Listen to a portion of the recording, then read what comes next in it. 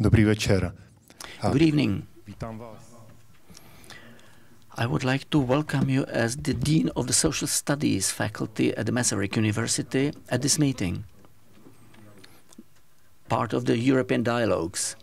You may wonder or perhaps even smile at uh, when you looked at the co-organizers that the Brno version of the dialogues of Václav Havel named Truth in Politics and the Politics in Truth is organized by the Faculty of Social Studies.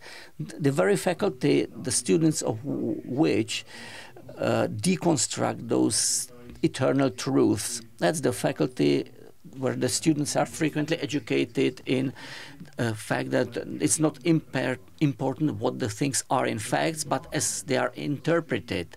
So why do are we helping to create environment for dialogues where we want to think about the position of truth in politics and about a certain ontologic dimension of the truth? The reason is that we realize that consciously or subconsciously we desire for a fixed point in the world of the flowing time, in the world based on unstable sand or quicksand, that we desire for at least small certainty in this flow of uncertainty. That even the largest skeptic that always quotes the, the famous Socrates, uh, I know that I don't know anything. It's not that the fixed and true point wouldn't exist, but he hasn't found it, found it yet. I don't want to guess what both main speakers are going to talk about. And I know that I'm already sinning by uh, uh, the same sin as frequently organizers of conferences, sin that uh, they present their own contribution that no one expects. I will keep quiet in a moment.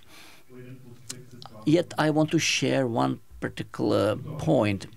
This event, including the topic, was started being organized in January, several weeks before another historic uh, outflow of the Russian barbar barbari barbarian or barbarism. I had doubts about the relevance of this topic. I didn't share it with anybody. I wondered how many current Pilates we have who ask, What is truth? Finally, I settled with the Abrahamian answer. Perhaps at least 10 like that will be found. And looking into the whole, I didn't have to argue or beg the Lord as much as the Abraham had to concerning Sodom and Gomorrah. So even for the 10 people, it's worthwhile to, to do it. And there are more than 10 people. The end of February changed everything, and suddenly we realized that the research of fake news, uh, Fake information is not only a hobby for a few politologists and media scientists who haven't found any more attractive topics, but it's the an area that decides about our current and future freedom or lack of it. Newly, and some people again realized not, that not everything can be freely deconstructed. That good is not evil and evil is not good. The truth is not lie and lie is not truth. So I want to thank both main appreciated guests uh, uh, traveling from Baltimore, Lechovice, or Prague, even though they could spend their time in a more pleasant way. But they both know that there are certain things or challenges that we should go for because they are correct. So I want to thank the library of uh, Václav Havel and Michael Žantovský for the first great opportunity to cooperate. And I hope that this is not the last chance.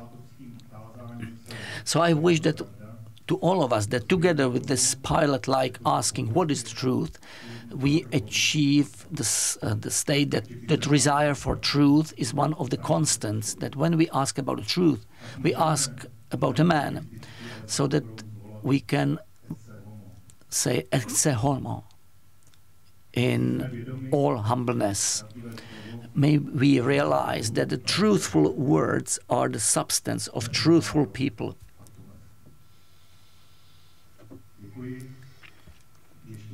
Thank you again and welcome again and I was supposed to pass the mic to another uh, person who, for the opening speech, but we can't do that because Mr. Žantovský is here, but I'm supposed to pass the word to a pre-recorded video opening speech of the Minister for European Affairs, Mikuláš Bek.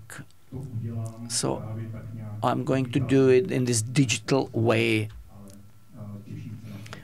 But, I'm looking forward to how he's going to co-open this conference.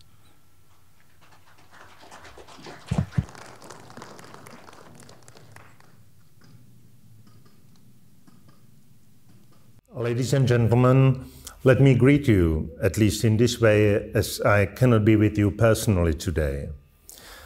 The personality and most of all the legacy of Václav Havel bear a personal meaning for me and my close collaborators.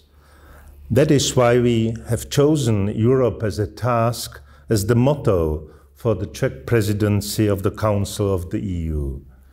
This idea is symbolic not only for our presidency, but also for this event which builds on the, the ideas and legacy of our first post 89 president. We still need to learn to think like Europeans and be proud to be part of this community. Indeed, the events of recent weeks and months are proof of this.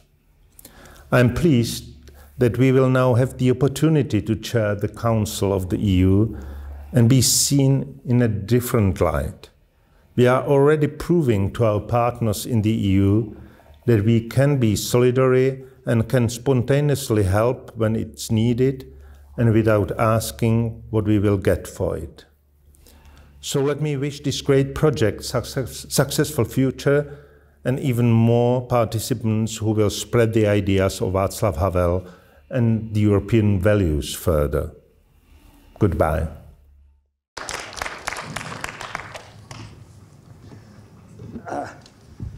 Good evening, ladies and gentlemen. Thank you all who have come here instead of to the lake. Thank you for coming here and meeting with us and for sharing something about the truth of politics and the politics of the truth. I want to welcome all of you, not only here in this room, but also many others who will be watching our debate online um, via the um, Václav Havel Library website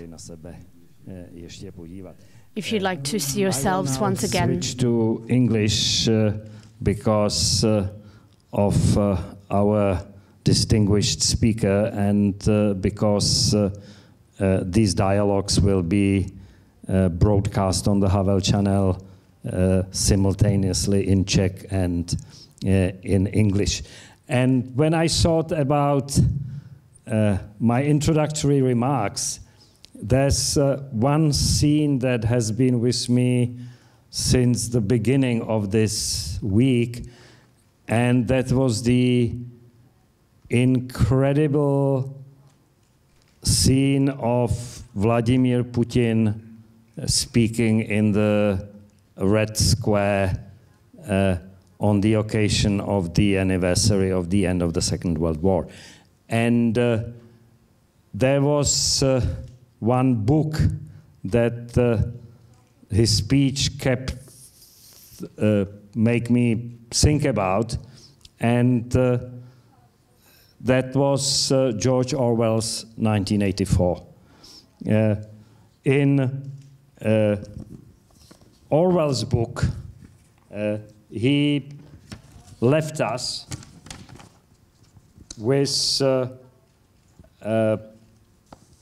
a very bleak and dark picture of uh, uh, a dystopian future uh, in which uh, the truth is uh, lie, the peace is war, uh, and shortages are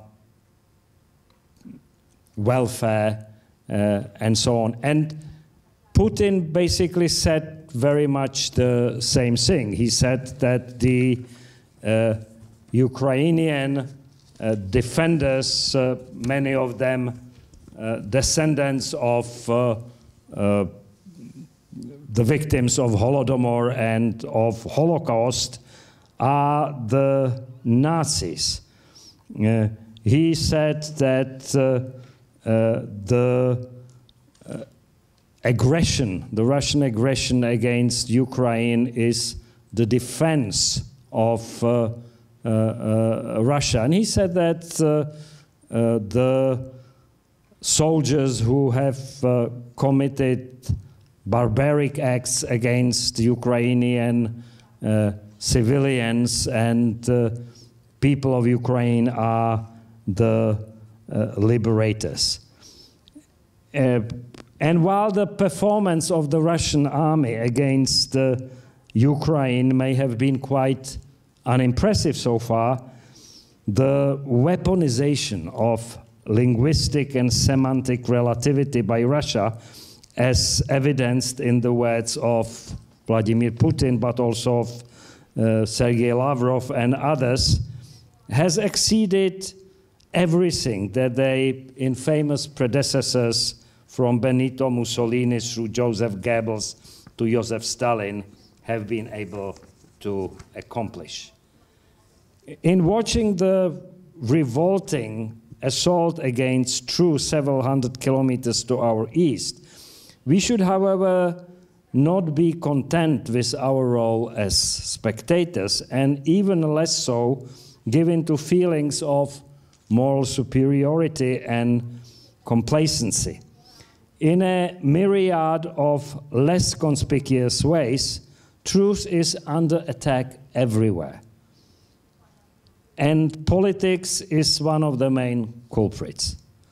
The manipulation of language in the euphemisms, the spins, and distortions of reality is an everyday occurrence in politics, serving to obscure, if not the whole truth, then at least its hard edges. Political expressions such as collateral damage, quantitative easing, or asset optimization are designed to desensitize the audiences to violence against innocent civilians, the habit of governments to print money that our children will have to pay back, or to the dangers of money laundering. As an intrinsic part of the political process, many of these distortions are not dangerous in and of themselves, but can lead to further distortions of reality and eventually to a break with reality and attempts to replace it by alternative realities. So, this is the issue at the core of the ninth edition of the Václav Havel European Dialogues, conducted in the Czech Republic and other European cities since 2014, and based on the premise that Europe cannot be a comfortable home for all its citizens without a common space for discourse, dialogue, and diversity. For the first time this year, the dialogues are taking place not only in Prague, but also in Pilsen and Brno. We are grateful to all our partners and sponsors who have helped us to make this expanded series of dialogues possible. First of all, the Vice President of the European Commission, Věra Jourová, the Czech Minister of European Affairs, Mikuláš Bek. Thank you, Mr. Minister and the Czech Minister of Culture, Martin Baxa, under whose collective auspices these dialogues are taking place. The representation of the European Commission in the Czech Republic, who have been our partners for many years now, the Faculty of Social Sciences at Charles University in Prague, the Faculty of Education of the West Bohemian University in Pilsen, and the Faculty of Social Studies of the Masaryk University in Brno. Thank you, Dean Balík. In the following debate, we will hear from two eminent thinkers and writers who are more than qualified to pronounce on the issues that I have only touched upon here. Uh, they are, in no particular order, uh, Peter Pomerantsev, a writer, a journalist, a filmmaker, uh, one of the most uh, interesting uh, minds in uh, the West, I dare to say, uh, today. And interestingly enough, also someone who was born in Kiev and, uh, and moved to England and to Germany and uh, most recently to the United States and uh, have intrigued uh, his audiences and listeners uh, everywhere, in particular with uh, two spectacular books uh, the book about disinformation in Russia, where nothing is true and everything is possible and uh, his second book, This is Not Propaganda. And our second speaker will be Marek Orko Vácha, uh, uh, uh, what do they call that in English? A man of the cloth.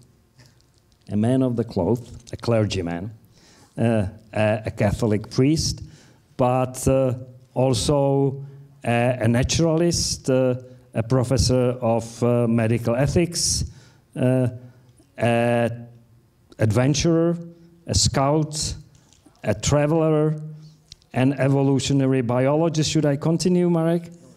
No.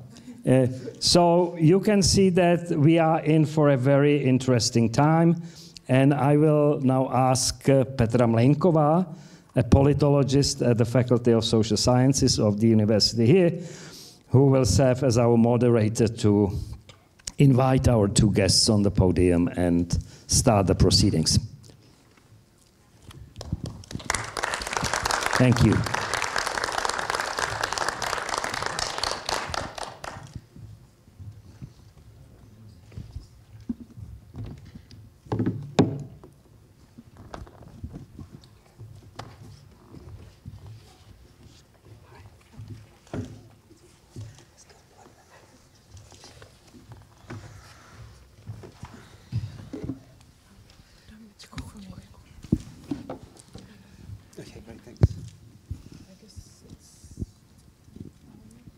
Mine is working. Tak. já vám přeji pěkný podvečer. So, good evening. Welcome again to today's debate.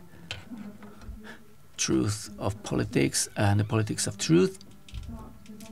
And the debate will be organized in Czech, as agreed with the organizers. And interpreting is provided for Mr. Pomerantsev. And if you want to ask any questions, and I will appreciate them, and I hope we will hear many questions because there's a rare opportunity. So obviously you can ask your questions in Czech uh, or in English, whatever you prefer. Everything will be interpreted to the other language. So not to hold more of your time, let's use the time efficiently. Let me start by asking Peter. Currently, we live in a world in which uh, important role is played by uncontrolled social networks or social media and uh, cyberspace we live in the world where everybody can say whatever they want to, anybody can have their own truth, uh, facts are banned, and the truth of those who present so-called alternative facts, they, they become much stronger, and those that spread lies just laugh. And they admit that we know that we lie, but you can't do anything about that. So that's my first question. Isn't this a lost battle before it even started uh, to fight for truth in, in the world like this? Uh, that's a very hard question to answer confidently. Um, I'm going to speak very slowly, yeah, because I hear no, I see nobody's using translation. It's okay. I'll speak slowly. If I'm speaking too fast, tell me. Um, so um, it, it's it's a hard question to uh, to answer confidently because we can't look into the future, but maybe we can look into the past because this has happened before. And very often, when a new information technology appears, it creates this sort of disruption. So when the printing press first appears, um, there's a proliferation of conspiracy theories. The old, you know, in Europe, before the arrival of the printing press, all the truth was contained in the church and in the Catholic Church in particular, you know, the arrival of the printing press helps lead to a, a fracturing um, into many churches. You know, we have the wars of religion breaking out. Um, we should remember that a lot of the first you know, things that were being printed were conspiracy theories, you know, uh, calls to um, attack people, um, hates, what we would call hate speech now, incitement to violence, um, stigmatization of women as witches. You know, this was not pretty. Um, and when radio appears, the first people who really take advantage of it are, are the Nazis and, and the Soviets. And it takes a while for the forces of democracy or, or some sort of ethics to respond, but they usually do in the end. You know, the printing press, in the end, catalyzes the, the, you know, the Renaissance and, and ultimately the Enlightenment. The radio um, is then used in, you know, in a very creative way by the BBC, by Roosevelt in America. So it just takes a little bit of time. You know, it just takes a little bit of time because first what is unleashed is energy, maybe some hope, but also a lot of chaos and a lot of evil. Um, so, so I think we're going to see the same thing with the internet. There was a moment of hope at the start, a lot of optimism, like with radio. When radio first appears, people dream that we'll end wars because people will be able to hear each other in different countries and communicate with each other, and there will be no more wars. People wrote about this. And then very quickly, Hitler takes advantage of it, and Stalin takes advantage of it, and there's a lot more wars where radio is instrumentalized. So I think we're seeing the same thing with the internet as we saw with radio. So first, this optimism, then this kind of sense that the bad guys are taking advantage of it, and it's taking a little bit of time for for the forces that want to see a kind of a democratic public sphere where we can talk to each other as equals um, to really get on top of things. But we have to understand the hugeness of the challenge. You know, the response in the crisis of radio was new regulation, the creation of institutions as huge as the BBC. I mean, these are massive interventions. And, and really, the, the, you know, a new education system to go with it. So I think the same thing is going to be necessary here. Huge new regulation, which is starting to happen at the EU level. Um, the creation of completely new institutions that create content and design on the internet and um, a whole new generation that, that is educated in a way that, that sort of fits these challenges. So historically, historically we do get to a good point. However, the question is, are we going to have something like the 30 Years' War or the Second World War first before we get there? So it's just how bad will the turbulence be? I don't know. Uh, děkuju. Uh, Marku, stejná otázka na vás. Mark, the same question to you. Does it make sense to fight for truth or to endeavor towards truth. I prepared a little bit. If the question concerns the truth, the first thing that comes to mind is you, you remember the Czech radio in which Veronika Sedláčková invited two people, Vladimir Báča and Jiří Grygar, and the discussion was the following. Báča uh, claimed that the earth was flat and Grygar claimed that it wasn't flat. And the only thing that was missing was that the uh, listeners should vote based by their text messages uh, to to say who's got better arguments or who's more uh, able to ridicule the uh, opponent. And we, because uh, my first discipline is uh, nuclear biology, we have this wall of facts, and the nature always uh, persuades us what's truth and what's not. As uh, Mr. Balík said, or Professor Balík said, he said it ex exactly that it belongs more into the uh, soft sciences like the uh, so, uh, social sciences, and we don't have it because we have to go for facts. So one would say that we've got this wall of natural sciences that will stop us. It, it does it sometimes, but as you now you can see that the, there is the highest number of people in the history who believe that the Earth is flat in the Czech Republic, and that's the, that's a fact. And to make it even more complicated, and I don't want to make it a lecture, we might say that at least in the natural sciences, we know what's true.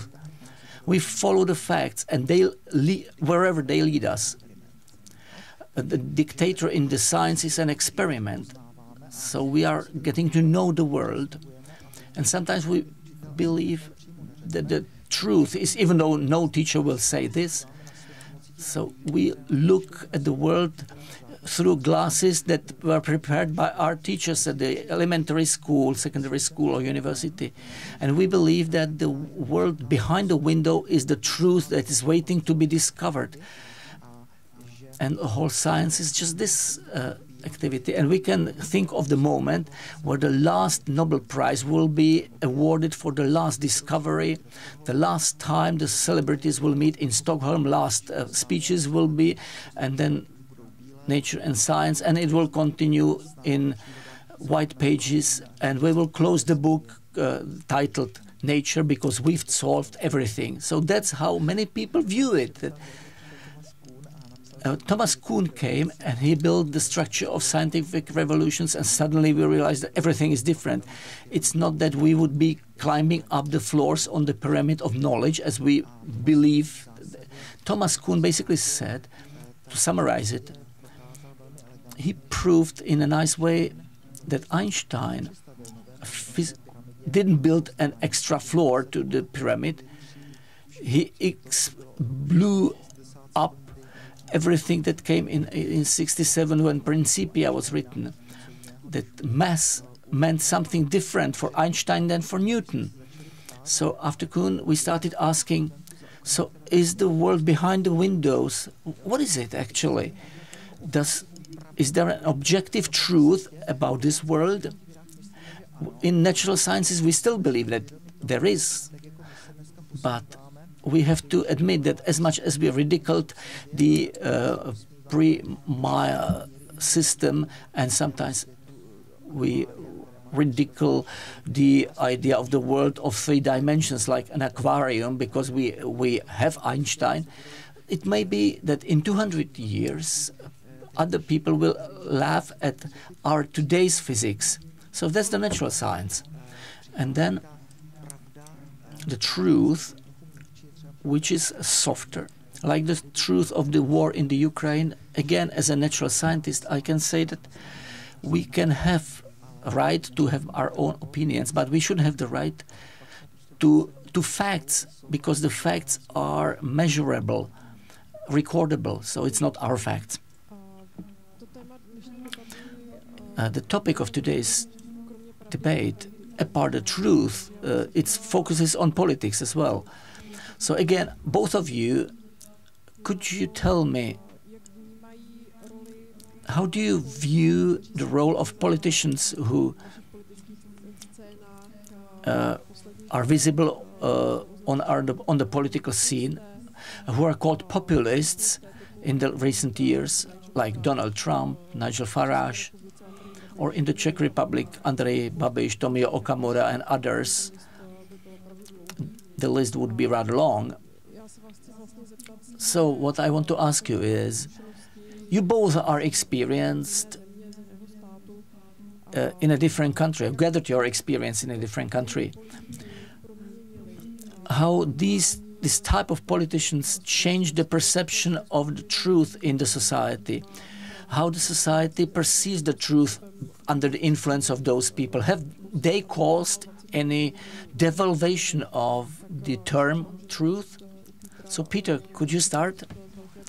You've got experience from the United States and from the Great Britain or UK. Yeah, I mean, I do. Um, I think both in terms of Donald Trump and to a lesser extent Boris Johnson, um, I think we underestimate the sort of pleasure in rejecting facts. Facts are very often unpleasant. They tell you that, I don't know, they tell you that you're overweight, you know, that your life hasn't gone as well as you wanted, that you're going to die. And so there's this kind of pleasure in throwing off the facts and sticking a middle finger up to the facts. And I think we underestimate how much pleasure it gives. It's a very anarchic pleasure, and it's very much associated in its anarchy to also revolutionizing moral laws and sometimes just laws. you know, you create this sort of wasteland around you. Now that's a lot of fun on a carnival once a year or on Friday night. It's probably quite healthy to do that, both as a person, as a society. But it's not a way towards any kind of society where justice or an idea of the future can, can articulate themselves. And I think you know, the most intense place I've seen that in, in my experiences is Russia, where I lived for nine years, between 2001 to 2010, and which I described in my first book. Nothing is true and everything is possible, which try to capture this, the essence of this. And it was very interesting living there in that time because it was a society that had decided that there was no future that nothing, there was nothing really to plan for. That, you know, all the big ideas of the Enlightenment were dead. Communism, they never really believed in the last 20 years. But then democratic capitalism, they thought was a lie as well, completely cynical about all models of the future. So instead, you had this sort of nostalgia that compensates it for the lack of a future. And Ambassador Žantovský noted Putin's speech, and Putin never talks about the future. It doesn't exist in Russian discourse. It's only ever about fantasies of the past. And at the same time, denying the reality of the past. You know, I suppose the reason that um, they can't start going into detail about the past is they haven't even tried to face up to it. Um, and with that, this kind of rebellion against the facts. And I think it makes us think why do we need facts in political speech? Usually, facts in political speech have got to do with an idea of the future. Um, you know, you're planning something and you have to show that you're going to get there. Um, both democratic capitalism and communism pretended to respect facts. They lied all the time, especially communism, but you know, it was meant to be scientific. It was meant to be a scientific version of history. You were meant to prove that you were reaching utopia in this kind of state where there is no idea of the future, then, um, then facts are just unnecessary. And I just came back from Ukraine, and you go to these places that have just been liberated from the Russians. So I was in Chernihiv and Bucha, all around the sort of north of Kiev. And, and it's a catalogue of atrocities, murders, rapes, um, destroyed buildings, but for no reason. You know, when I talk to the people who'd been held by the Russians, a lot of them would ask the Russians, "What are you doing here? Why are you doing this?" And the Russians would just come up with some nonsense. You know, there are Nazis here. It's like there's no Nazis. You know, we're doing this because we want you to be with us, but we don't want to be with you. And very quickly, the Russian soldiers would run out of words.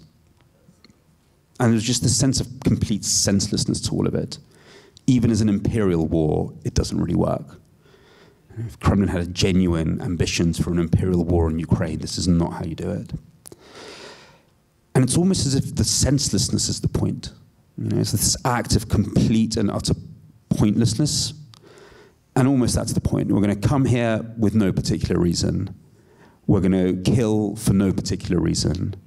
We're going to murder for no particular reason. It isn't even that strategic. It isn't even thought through in the way the Nazis had this horrific plan. It's just we're going to impose the pointlessness and the senselessness that we feel onto you so you can live in the same world where there's no truth, no facts, no future, so that you feel what we feel.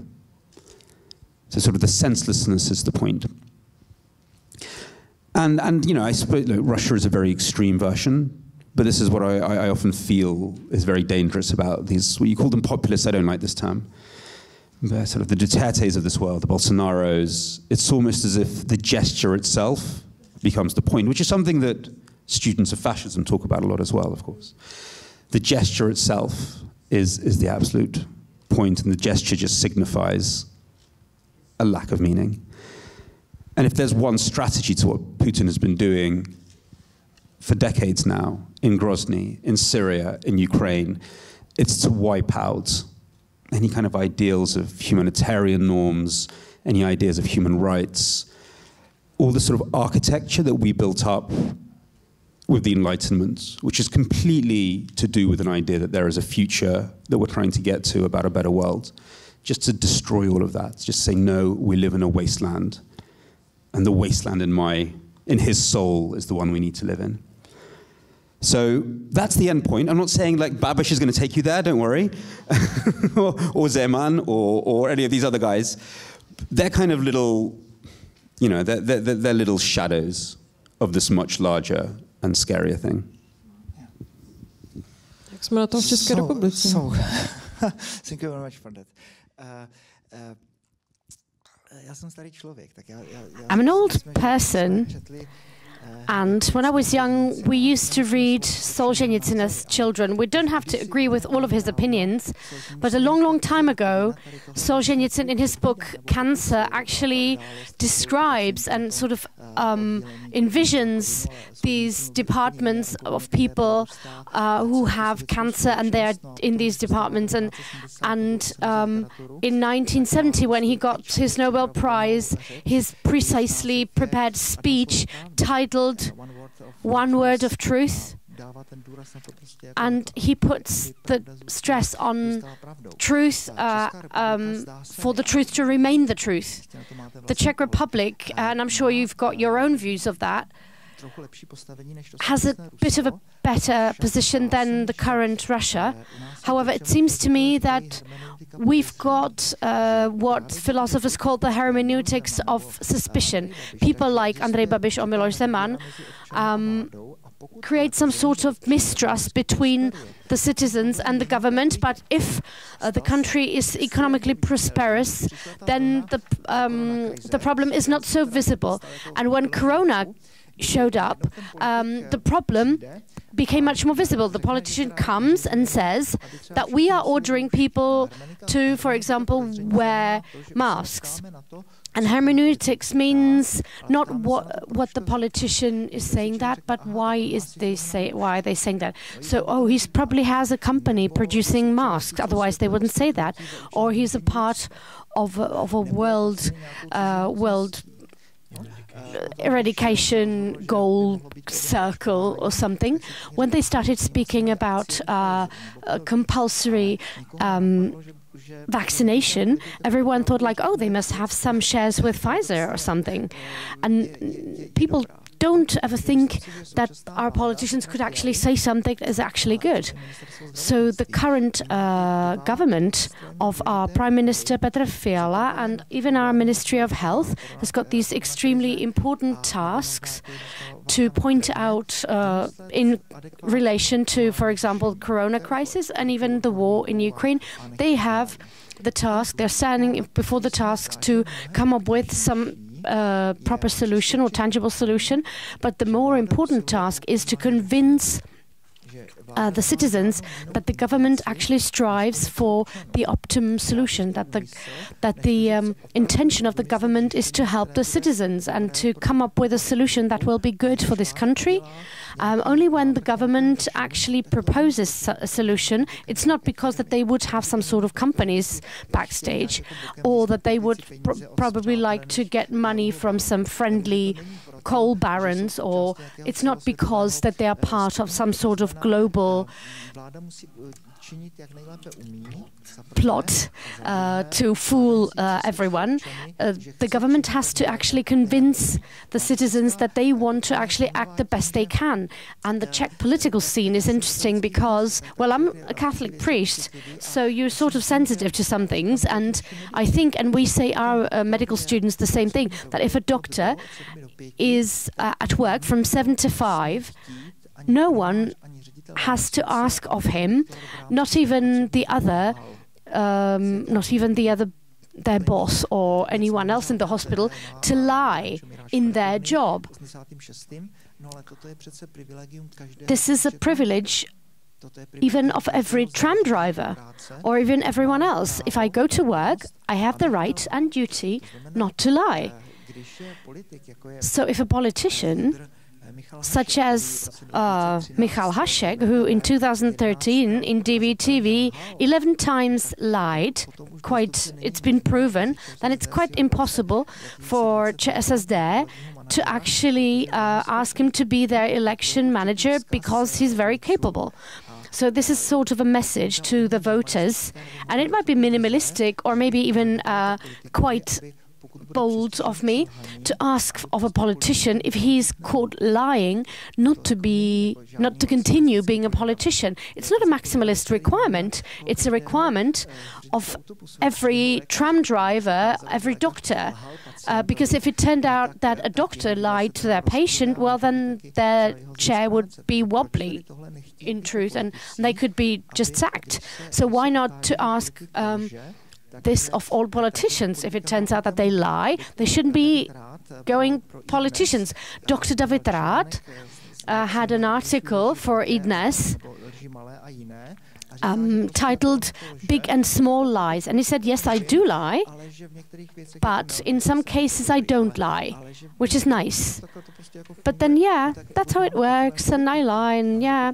Well, if our politicians are, or even if Miloš Zeman says that he believes that um, there are probably no Russian soldiers in Donbass because Lavrov told him. Well, obviously, the politician in a functioning democracy should be disqualified in such a way that he shouldn't be in politics anymore. So the government that is um, there right now has got a very difficult task ahead of them to actually dig out all those grenades that are deep down within the nation, um, to dig them out and, and remedy uh, the situation in order to re-establish some sort of ethos and some sort of atmosphere, saying what is um, desirable and what is not, what the civic uh, society will bear and what it won't. So if they want a politician not to lie, it's not some sort of maximalist requirement, but it's absolute minimalism of, of what I can ask of a person who has been elected into a post. Can politics be done this way? If I dare say, is it not naive to ask this of politicians to only speak the truth? Well, this meeting is organized by the Library of Václav Havel, or Václav Havel Library, and there is a politician who has actually managed to do that. Well, let's hope our politicians are going to take this to heart. If I'm not mistaken, you are the also the advisor to one of our ministers, so I hope you are pressing on him that way. Is it working? Pracovní tajemství, rozumím. Okay. Um, medical secret. Dobrá. All right. asi se shodneme na tom, že, že opravdu If we agree ta- tou důležitou that eh, Truth is an important value bojovat a kterou stojí, eh, that is worth fighting for and protecting. bych se chtěla zeptat Petra, I'd like to ask eh, Peter, jak se podle vás, how do you think democracy should defend itself? And in what way should it protect its citizens, and whether democracy, in its fundamental level, should actually take any steps? Should it work with its citizens, its society, and protect the society from manipulation? Yeah, this is something that I've been forced to, to think about a lot. And to be honest, I've ended up really looking at the question slightly differently. Especially in a democracy, you can't have anyone being the arbiter of truth. And even something science, truth is emergent always. So, so this idea that there'll be sort of a, you know, truth cops running around going, ah, you lied. I mean, that's, that's a different type of Orwellian nightmare. So I don't think it's, and also I don't think it's about that. I think, I think we get confused with the symptom and not the larger cause. And we've all been thinking a lot recently about what makes democracies democracies. We've had this sort of crisis about, so, so what is it? Is it elections? Is that it? Orban has elections. It's not a democracy. Um, is, it, is it just a free market? China and Singapore have free markets. They're not democracies. Is it courts? Without a doubt, you need courts. But again, that's probably not enough. And I think we've slowly realized it's this very poor, it's also, apart from these things, this very poorly described and understood thing called, well, it's usually called a public sphere. I work at somewhere at Johns Hopkins University called the Agora Institute, which is sort of dedicated to this question. The Agora was a place in ancient Athens. It was on the main market square in ancient Athens, and people would come in the evening, and there would be speakers, and it's where they would debate the main questions about what Athens should do as a city state, and they would vote on it. And everyone, by everyone I mean men, slave owning men, that was everyone then, was allowed to take part. So it's the place where democracy happens as discourse, as discussion. And we've never really thought very hard about this. We have no real social science of the relationship between information and democracy. We have a lot of cliches in our head. Something in America that people use as the cliche, it's not a cliche, it's a myth of the marketplace of ideas, which is an idea which has never been tested, that in a, you know, democracy is like a marketplace, and if, you know, if you say the best ideas and the best, the most accurate things, they will eventually rise to the top through a theory of rational choice. Everything we know from behavioral economics, from cultural anthropology, tells us that rational choice is not, not always what we do.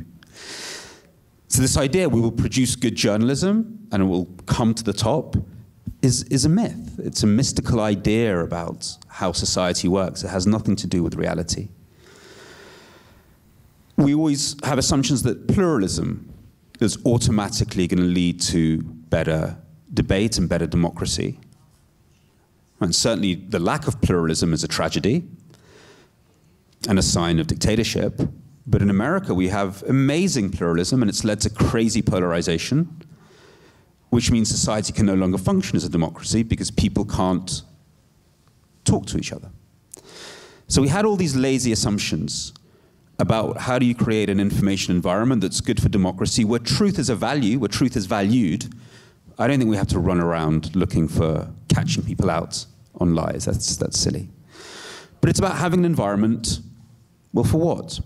So I was talking to my colleague who runs the um, MIT Media Lab. It's, it's, a, it's, a, it's a university in, in, in, in Boston. And they were trying to break this down. What is healthy democratic discourse? He called it civic discourse. And he actually broke it down into three things. And I think we've, in my research at Hopkins, we've come to the same conclusion. This is very simplistic, but I think it works. One is people have to be able to see the other person as human. Yeah? The tragedy in America is that the country has, due to propaganda, has started to see each other in these scary categories, liberal versus conservative, you know. Each one thinks the other will bring the apocalypse. So step number one is not thinking like that, being able to see beyond these paranoid identities, which are often created on purpose, and seeing the other with a bit of empathy. I don't, mind, I don't mean being nice to fascists, by the way. You know, this is an old paradox of democracy. If somebody doesn't believe in democracy, they're excluded from the conversation. But for people who all do believe in democracy, step number one is seeing each other with a minimum of empathy. That's actually the hardest thing. And the way to do that is through culture and art and movies and TV shows. It's got nothing to do with truth.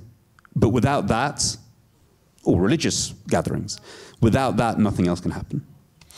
Number two is having an idea of what evidence is. We have to be able to agree what is a piece of evidence, or else we have no rules.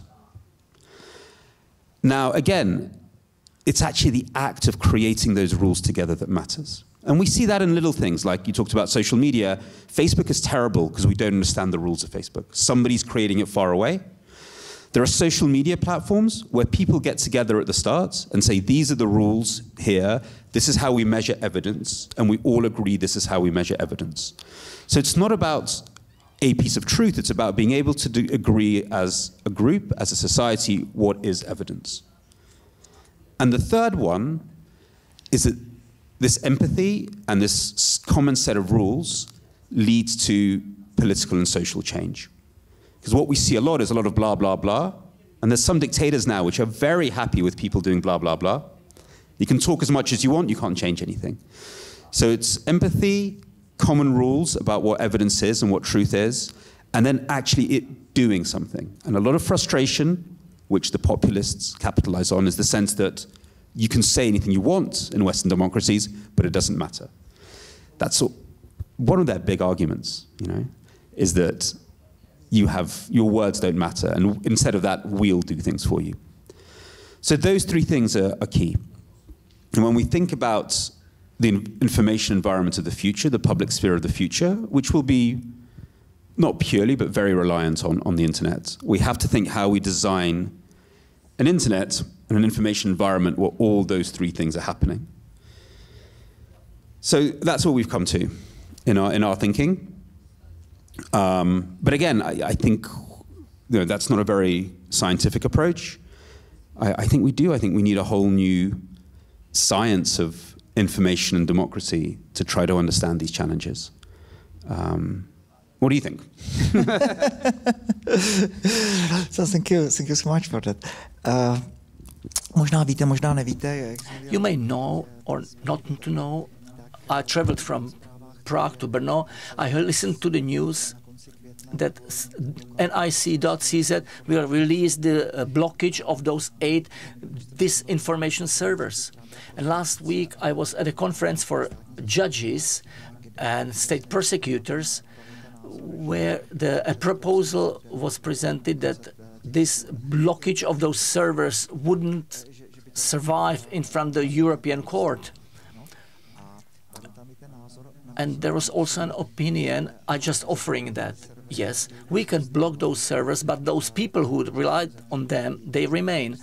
And the only terrorist in the Czech Republic, Mr. Balda, he was inspired by those sources. And it links my mind to the medical ethics. We can't live without realizing that each country protects the citizens from themselves. Whether we want or don't want, we always balance between totalitarianism and liberal society. Like you cannot buy soft drugs in the Czech Republic. Uh, some people would say, why not? Uh, you can't smoke in a restaurant. So the government believes that they have to protect our health by banning smoking in restaurants. I use the seatbelt in my car. Again, it's it's a regulation of the government. So that's what I said to our uh, students. You all know those uh, salespeople who cheat uh, pensioners. They are typically young guys, and uh, they sell overpriced uh, cutlery and kitchen utensils to uninformed pensioners. And we want to pr- protect the weaker group from the aggressive group because we believe that this is not fair. But by protecting our pensioners or elderly citizens, and we believe we do a correct thing, someone might say, but that's a paternalist uh, state that needs to guide their citizens by hand. So I said to my students that it might be better for me and increase my freedom if I could uh, drop a few coins to gambling machines at the faculty. And I don't have this freedom because the government pushed all the gambling machines out of uh, central centers of cities, and that reduces my freedom also for the fact that the uh, the criminal activity of gamblers are more expensive expensive than uh, proceeds from the gambling machines.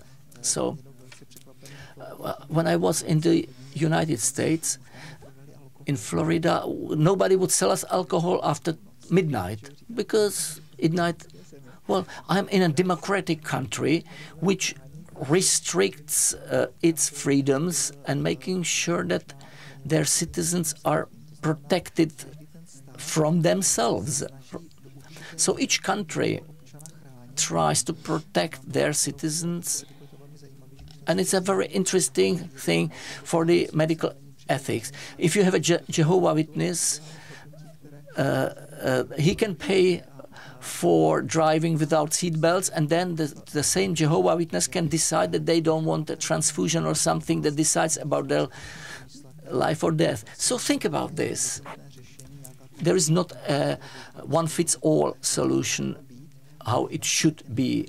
But let's agree that this exists and it's a very sensitive issue for all politicians uh, to pass certain particular laws to give as much freedom as possible to the citizens, and on the other hand, each country also uh, make makes sure that they protect uh, uh, their citizens from their own uh, unhealthy activities. There are other examples. Uh, the possibility of personal bankruptcy, and I might name many others. Oh, thank you very much for your note, because this is linked to the limit of how long we are within the democratic principles and when are we crossing them are going for censorship. And it's a very sensitive issue.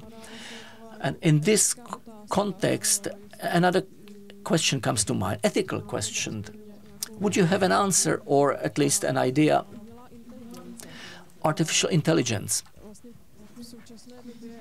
Currently and it's been accelerated by this war that uh, Russia wages in the Ukraine. There are various IT companies or even individuals or group of IT experts try to uh, develop algorithms or to use artificial intelligence for detection of truth or verification of truth in the cyberspace. And the artificial intelligence obviously is a great ethical question mark. So, how do you see that in connection with information and the usage of uh, AI? I, ha- I have a joke that no no student will ever ask me because they know that they would lose another 90 minutes with me asking this question. So we have to think in a new way, think about things that we are confronted with, and it all started a long time uh, when when drones were introduced to the war in Iraq or Afghanistan, they could recognize faces and they were supposed to shoot without a person would somehow influence them. So that was the first wave of this of these debates how to introduce the ethics into artificial intelligence and what we can firmly say that there are always people behind those those programmers of these things designers of those inventions and there's also an intelligence that is self-learning so the only safe thing we can say is that there are people behind each technical device that develop the AI in so well so that uh, to make sure that the AI still serves the mankind. Well, this, this wasn't 90 minutes, so you were great. A question for Peter. I asked you before whether democracy has a chance to influence or rather protect its citizens from manipulation and lie. Um, now, I would like to know, and again, in the background of the current war, whether democracy has the right to influence the society of a different country in the same way. For example, at this moment, Russian society. So, for example, Czech um, intelligence services start carrying out some psychological operations in Russia, trying to influence Russian population in an effort to actually turn over or, or stop the conflict. Do you think democracy has the right to do that or attempt that? So, so there's all sorts of different types of communication that you can and should, I think, um, uh, engage with with another country. I mean, firstly, we all want to live in a world of open information, so it's completely, you know, that's completely in keeping with democratic values. That that you know, countries and media think across borders, and most media are international anyway. So I don't think there's any problem with that at all. Quite the opposite. That's one of the stated aims of a, you know, the democratic idea of information that it crosses between borders. That's in the UN Declaration of Human Rights, Article 19. So, so I don't, I don't see, I don't see why that should even be an issue conceptually. In terms of, we talked about psychological operations. Um, I think we need to recognize we are at war with Russia. I mean, we may not like to use that term. It's definitely at war with us. Um, you know, in terms of NATO countries, it uses economic, psychological, and political warfare. It does it openly now. It's been doing it for years. We've just been in denial, or some countries have been in denial. I remember being in Germany and German businessmen and politicians telling me all the time for many years that Nord Stream 2, the gas pipeline from Russia to, to Germany, was just an economic project. And I was like, I lived in Russia. No one in Russia thinks this is an economic project. This is a way to control Europe. But they talk about it openly. In the Russian vision, we live in a world where everybody is trying to break everybody else. They don't believe in globalization as a concept. They've always said globalization is an American plot to control them. They see themselves in political and economic warfare with the West. They see it. I mean, that's just what they've been doing. We've been in denial. So, of course, we should be doing political and economic warfare against them. We've introduced economic warfare. Sanctions are economic warfare. Very stupidly, we're introducing sanctions with no information campaigns.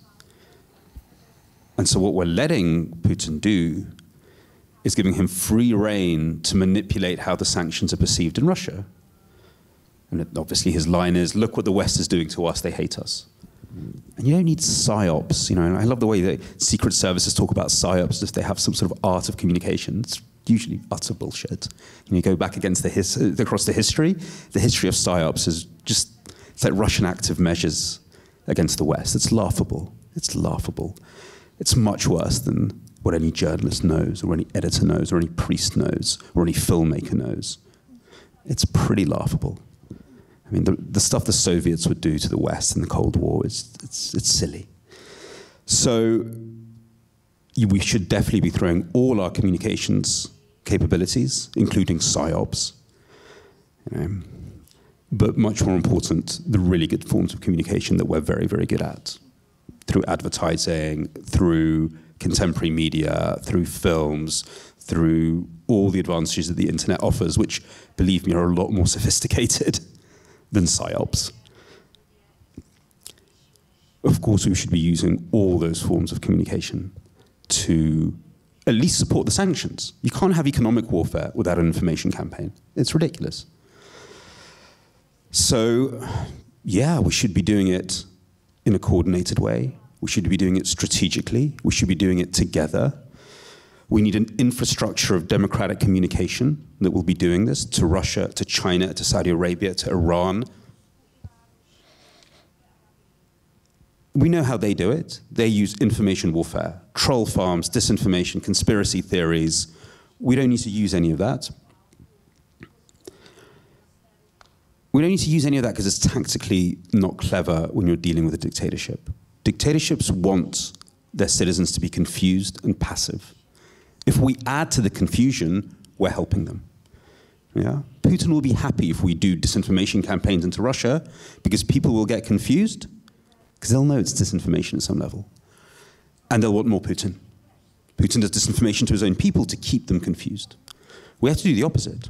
Democracies are much better at the opposite. We're better at motivation, active, act, making people more active, making them want to seek out more, sharpening their curiosity, and making them realize that their government is not acting in their interests, which it's not.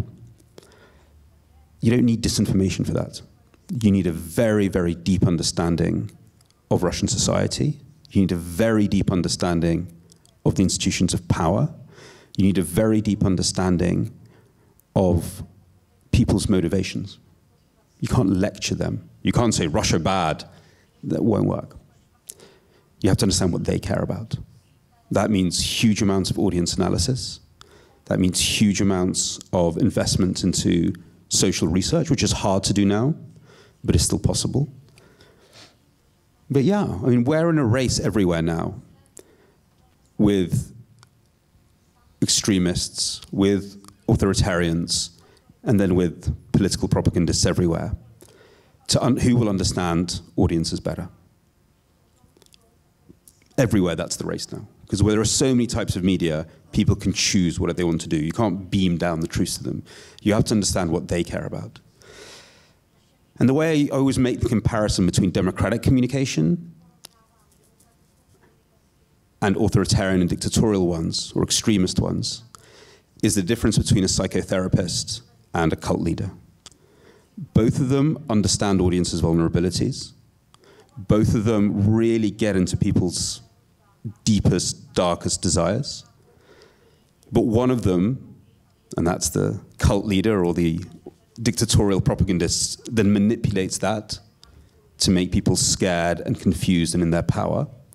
And the other one, which is the psychotherapist, or what I would like to call a democratic communications mission, starts to bring these things into, into public speech and makes people take responsibility and makes them more active citizens.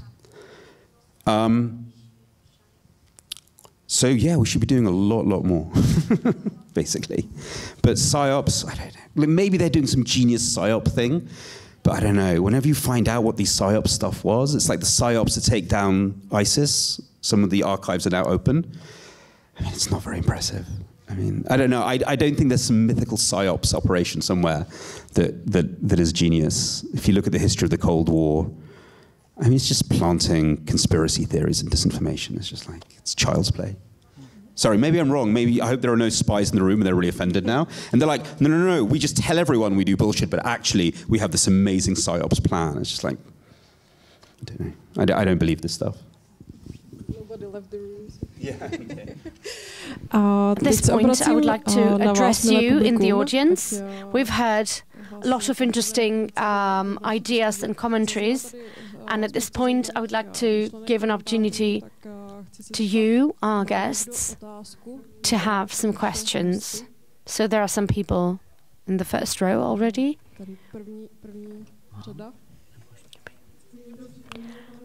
Is someone going to be faster than Mr. Žantovský? Does anyone dare? Vyhnout pana Žantovského. Troufne si. I'd just like to thank the moderator as well as both uh, speakers because this is obviously a topic for several hours, which we don't have. Nonetheless, I have three comments. je nemáme, ale The first, perhaps a palliative one. Mare, Marek. Hm. As you know, I've been working for Václav Havel from the moment when, on New Year's Day in 1990, said that for many years at, on this occasion you've heard that our country is flourishing, but I expect that you didn't elect me to tell to lie to you again, and our country is not flourishing right now. Nonetheless, and he tried to adhere to it, and so am I trying. The standard of a doctor for a doctor or a politician or a tram driver to be truthful from nine to five in their professional life. I think it seems, well, it seems to me somewhat unattainably high. I think that not even possible because I don't know if you can admit it, or uh, but I do in medicine, where I've been working for ten years, and then in even in politics. There's something like a, called a white lie, which is uh, of different character than the other lies.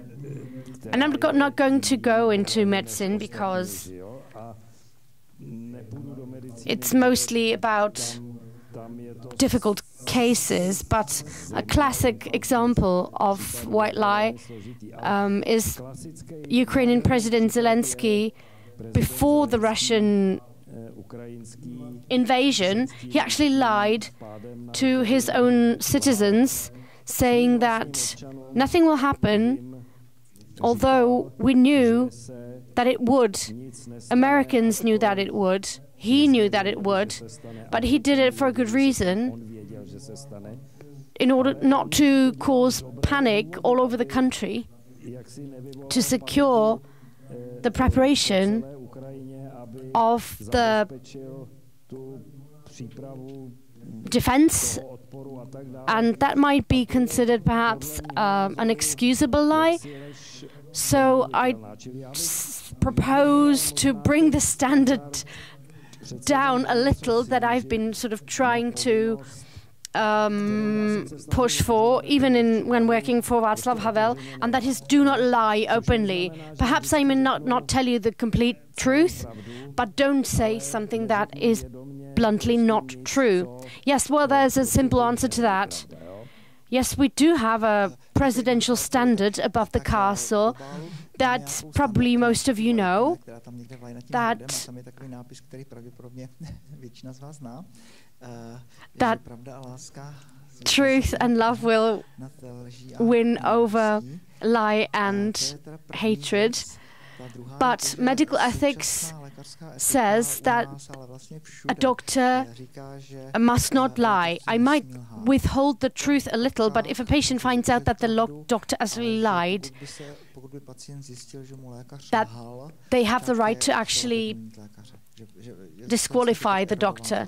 So the doctor may trickle the truth or tell you a part of it, říkat tu pravdu po kapkách, but the doctor must not lie. část té pravdy Then there's the question, of course, very well ale že by- known, že by neměl lhát. when uh, Pak je ta STB, the secret police, was um, známá, třeba u výslechu STB. a- asking, interrogating people, and obviously, yes, uh, if by lying you could actually save a person's life, then yes, of course. And even Kant uh, mentioned and wrote that if a murderer was following the victim and the victim hid in your house, and then then Kant would say, well, you mustn't lie. You must tell the murderer that he's at your house, and then you have to fight the murderer. But if you imagine the various interrogations with Gestapo or STB, then obviously it was great to be silent. And if you would be able to save a person's life by lying one, then obviously you would. Same as anyone among us, everyone, everyone would definitely say that it's wrong to kill another person. We definitely shouldn't kill. But if I protect my wife or my children, and if someone comes into my house with a gun, then it might not be the right moment to tell them, well, brother, let's discuss it, and and so on. No, I have to kill. I have to kill not because I'm bloodthirsty, but because I have to legitimately um, defend the lives that have been entrusted to me. And if there's war, I have to kill not because I'm a sadist, but I have to protect the lives uh, that have been entrusted to me. So we all know that nothing in medical ethics or any ethics in general is not watertight or absolute. The same thing, I mustn't uh, steal, but if I'm in danger of um, dying of hunger, then of course I may steal.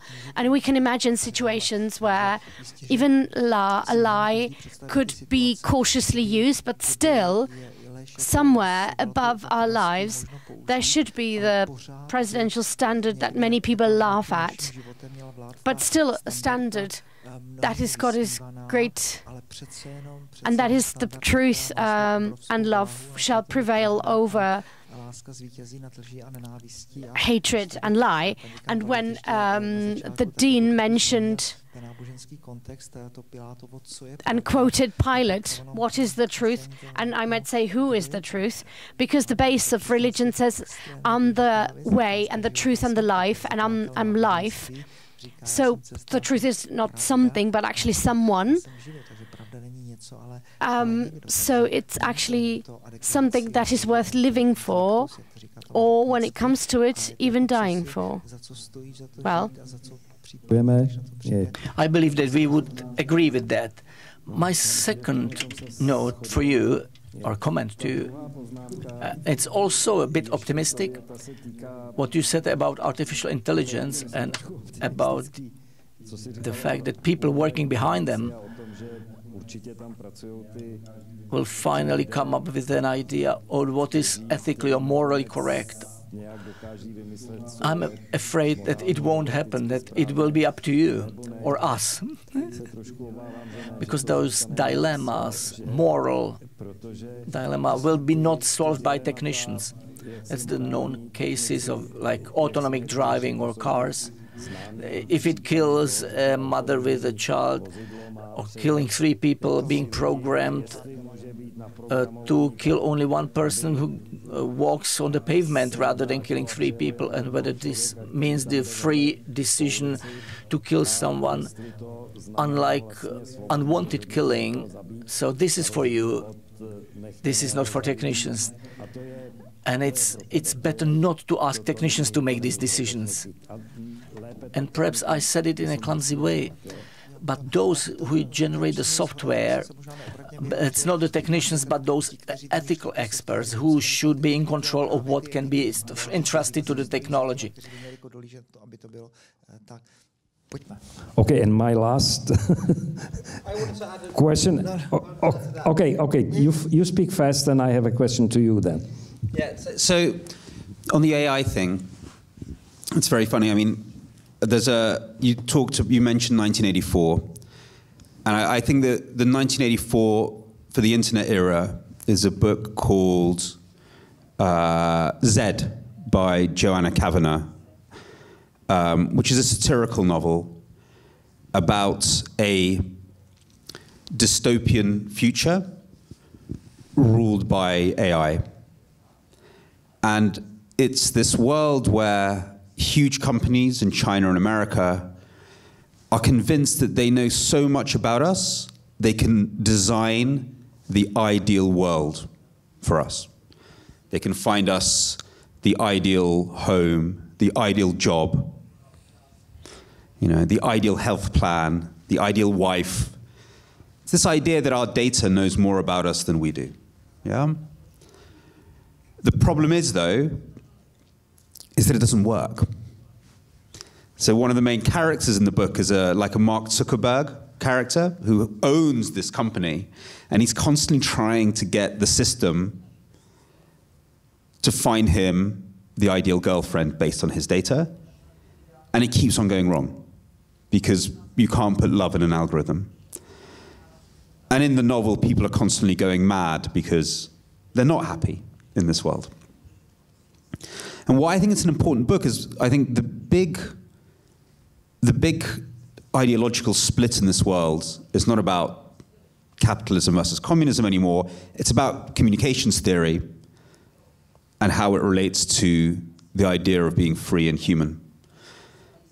And if you look very closely at what the Chinese, the Russians, and some people in Silicon Valley say about the future and the ideal society, it's very close to what is in Z.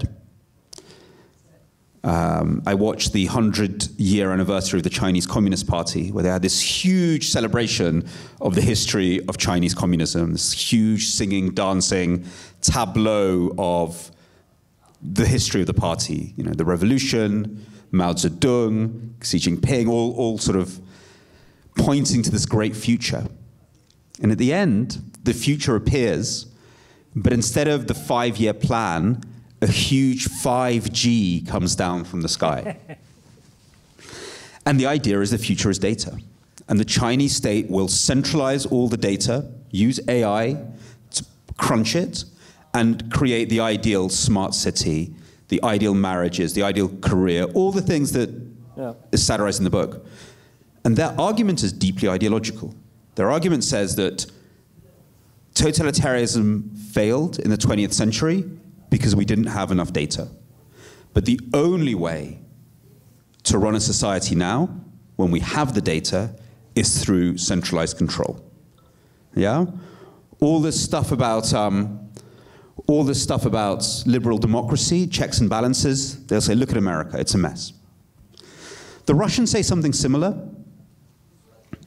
They have this through other ways, they say it, but they deeply do not they think that they can control society through information. Yeah, it's an idea of the human. Yeah?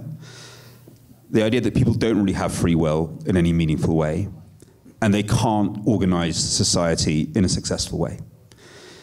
You know, it's, it's a theory about the relationship of people, media, and data. And a lot of people say this in the West. Yuval Harari said something very similar. He says it sadly, but he basically says free will is gone in this new world. Data is everything.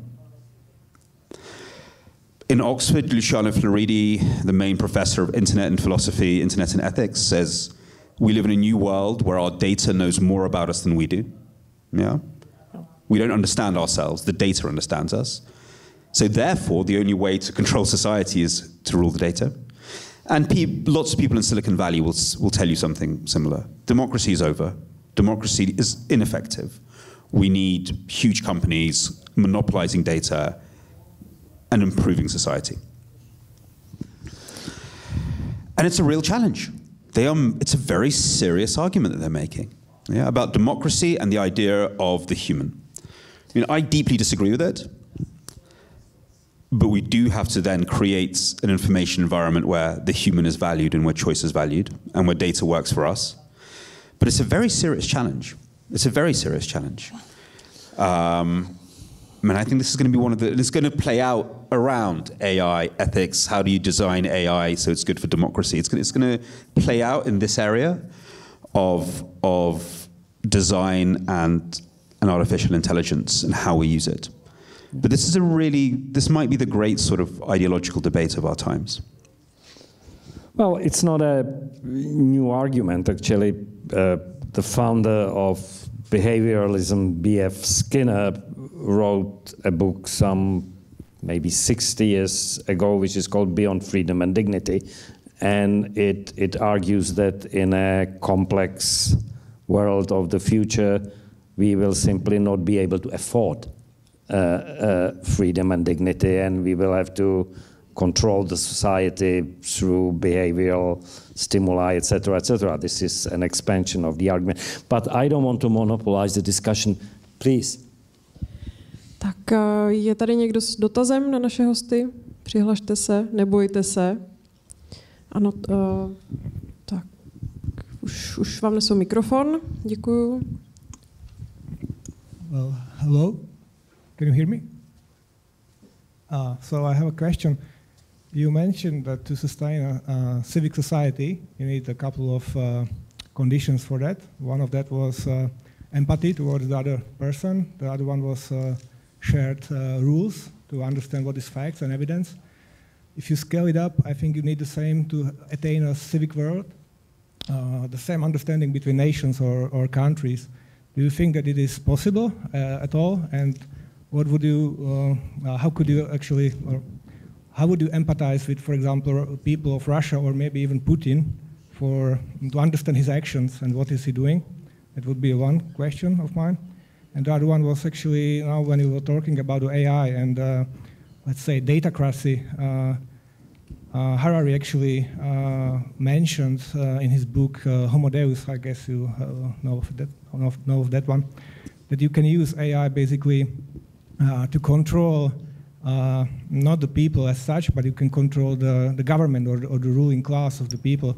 And uh, since, uh, as you said, politicians are sometimes incapable of speaking truth, you could maybe use this kind of technological or technology as such to basically control that. So what do you think of uh, that, uh, or enforce that maybe? What do you think of that uh, use of technology?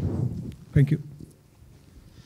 So no, no, I mean, empathy is only works inside systems where people have at least the potential, a desire to live in a democratic society and share base values.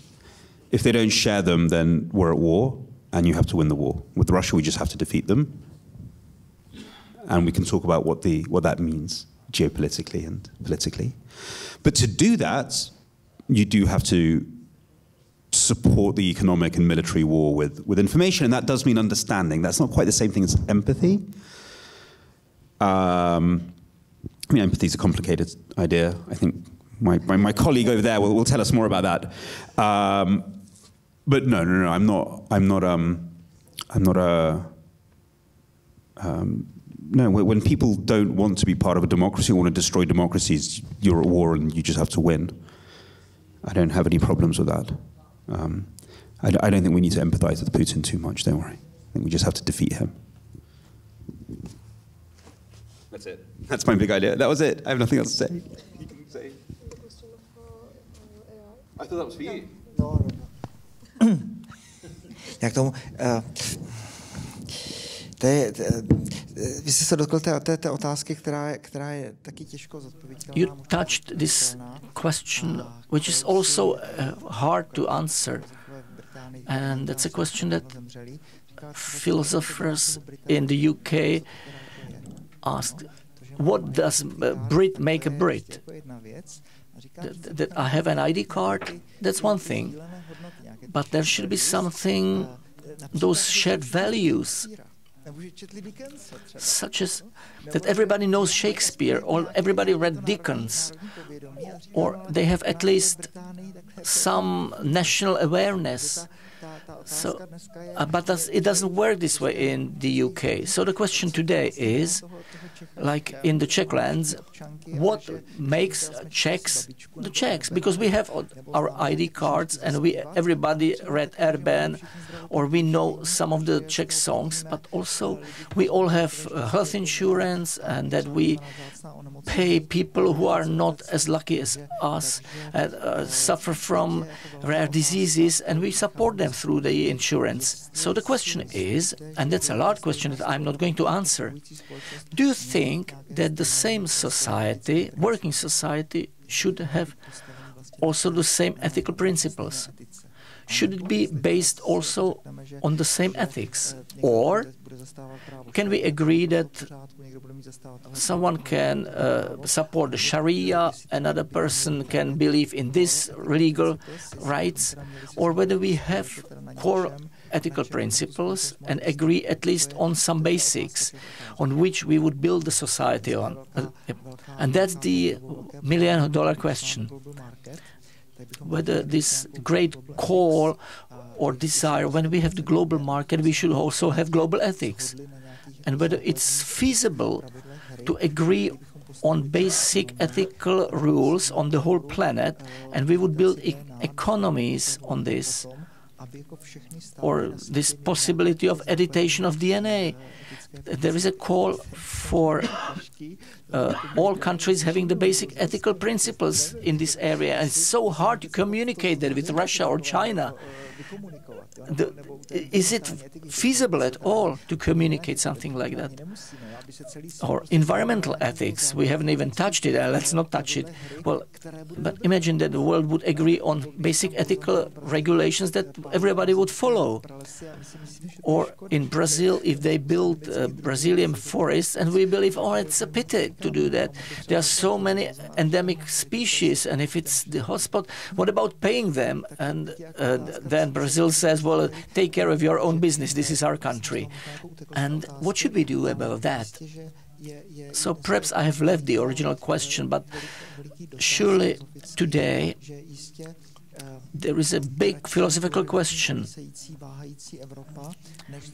rather a plurally, plural uh, hesitating Europe than unified Sharia.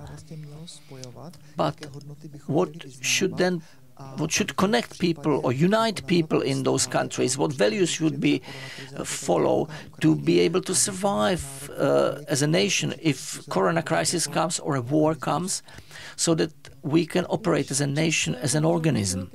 The time is unfortunately over now, or coming to the end. But what I still want to do is to thank our guests very, very much, both Peter Cameron uh, and Pet Marek Orko Vácha, giving me a big hand the debate was very interesting. I hope that you are. Uh, uh, you've received uh, great impressions from that, whatever they are, and I would like to ask uh, Mr. Žantovský for his final word. And I also want to thank Petra being the moderator or presenter.